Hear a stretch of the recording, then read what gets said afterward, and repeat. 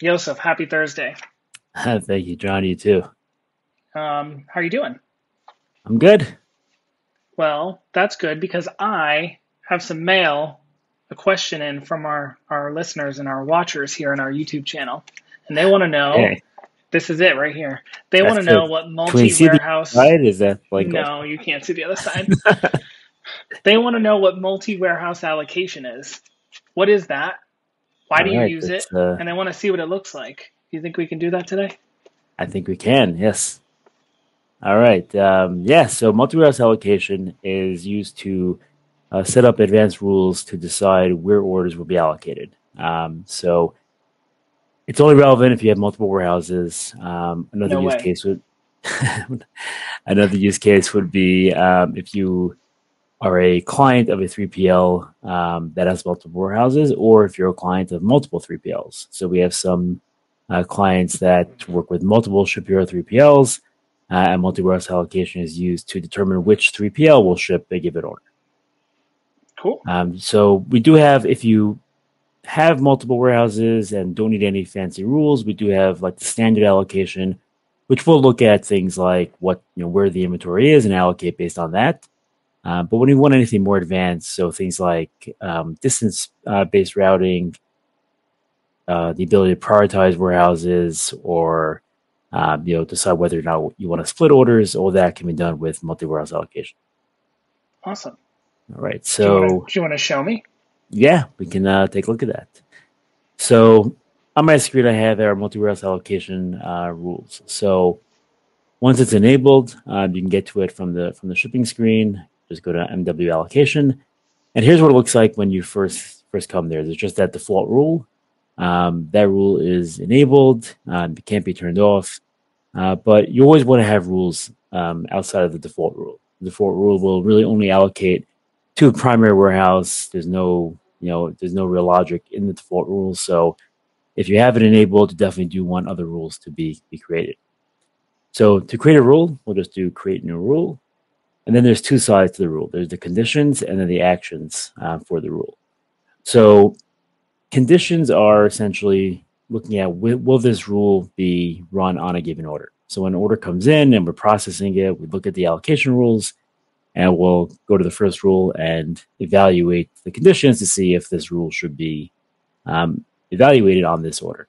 So the conditions that you can use on the rule, um, so you can see the list here. There's shipping country, uh, the store, uh, which store they came from, shipping country not equals, order profile, product tag, product SKU, order shop name, um, order profile and list, and then order, order contains tag. So basically a way to identify do you want this rule tag to run on a given order. Um, so one thing to note is you do not need a condition. So if you have a pretty um, you know broad broad rule set, you don't need to have a condition. If there's no condition, then this rule will run on every order. Another thing to note is if you do have multiple rules, once a rule runs on an order, so if I come back to this screen here, if I have multiple rules here, once a rule runs, that's it. The next rule is not going to run. So it's different than our automation rules, where multiple rules can run on an order and just goes top down. This is evaluated top down, and you can move move them around. But once it finds the first rule to run on, it's not going to run on the next rule. So going back to our rule, let's say, for example, we wanted to have a rule that split orders um, based on the country that they're that they're in. So let's say I say a shipping country, and I'll just choose uh, United States. Let's say in our scenario we have two warehouses, one in the United States, one in Canada, and we, we just want to set up a pretty straightforward rules that says if there's you know if the United States order allocated to our U.S. warehouse, and if it's our Canadian order allocated to Canadian warehouse. So we'll say if shipping country equals United States, and then for the action, we're going to allocate the entire order. And there's a few options in how you, you're going to allocate it. So there's allocate, back order, and then allocate from single warehouse and back order. Um, so if I just allocate, it really depends on what my um, what my intention is for this rule. I can allocate to a specific warehouse, and then I could have a different rule that decides, well, okay, if a warehouse doesn't have the inventory, where should it be back ordered to? Which warehouse should have that back order? Or I could say, allocate it, and if it doesn't, if it, that warehouse doesn't have that eno- enough inventory, back order it to that warehouse. So let's say I want to do that, allocate from single warehouse and back order. And then I could, for example, um, have this rule run on only specific items on the order. So again, this is just another way to um, change which items are allocated to which warehouse. In this case, I wanted to run all the items because um, I'm, I'm going to allocate the entire order. Why you would you split it? What's a good example of a reason why you would allocate some items and not others? So yeah, let me let's say I have certain items that I know these items always ship from a different warehouse. So I just want to have a rule that says, you know, these these items just allocate to the other warehouse, and then I, I would okay. have a different rule for the other items. Um, now from warehouse, um, so let's I'll just say this is going to go to my primary warehouse, um, and that just means which which warehouses can be um, involved or can can the items on this order be allocated to. So in this case, I just want to allocate everything to, to my primary warehouse. Um, now, since I only have one warehouse, I'm only allocating to one warehouse. There wouldn't be any need to filter the warehouses. But if I had multiple warehouses, maybe I have two warehouses in the United States. Um, so let's say in this example, I have my primary and my West Coast. Then I could have then I have some more options. So first of all, I can filter the warehouse, which means only look at warehouses that can fulfill all the items. So this might be if I don't want to split the order, I don't even want to consider a warehouse if it can't ship all the items. Um, in this case, I'm just going to unset that because again, I just want to allocate everything to a, to a given warehouse. Uh, and then if I do have multiple warehouses, I can also decide, okay, how am I going to sort these warehouses? I have my two warehouses in the United States. I said that this order can, can allocate to either primary or West Coast. So which one should it allocate to?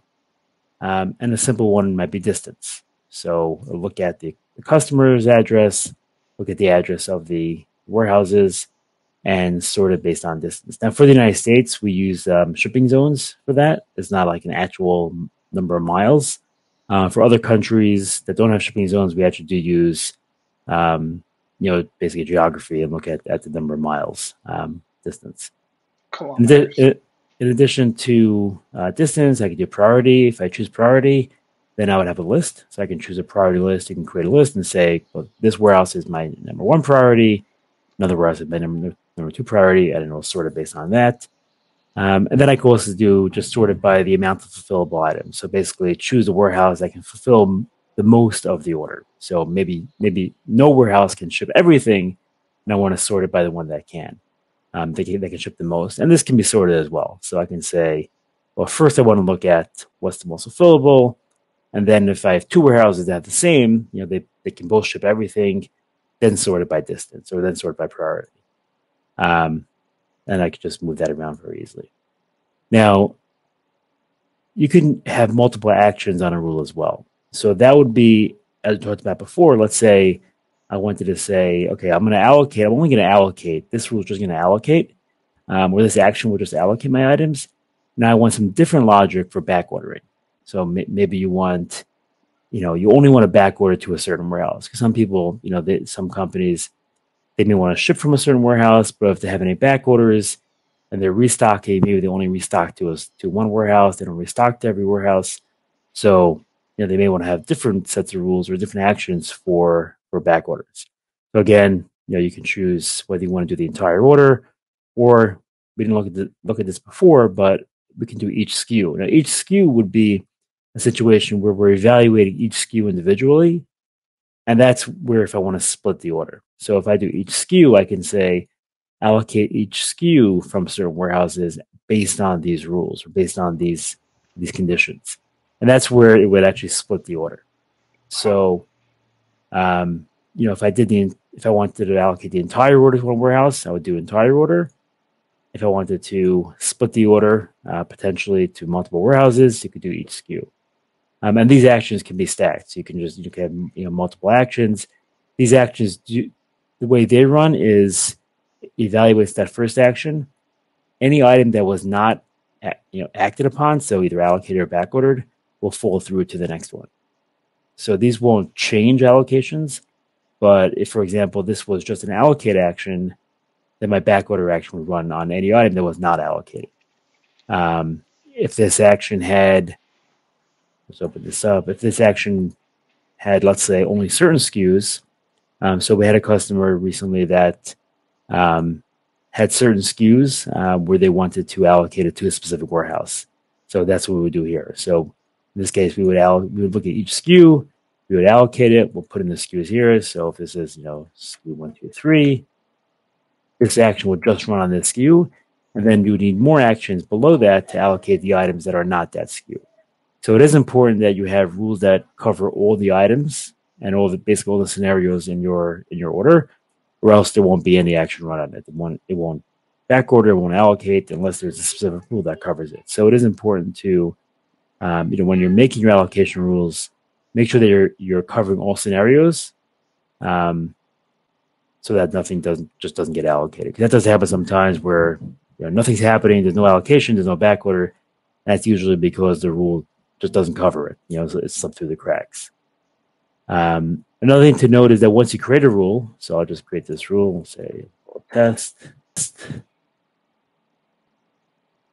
Back to my rules page.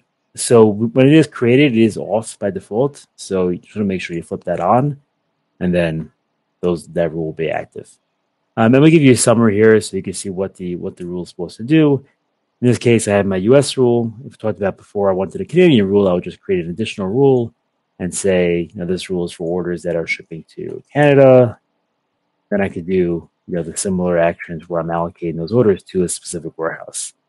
Um, and again, because these would be, um, you know, only only act only acted on certain orders based on the country, the order wouldn't matter here because the first one, if it was a U.S. order, would evaluate it. It's not it's not US.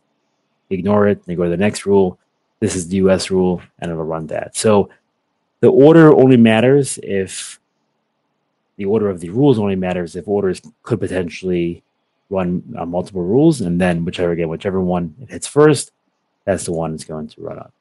Okay, so basically it goes down the list, and if a condition is met, it'll do that one, and then it stops.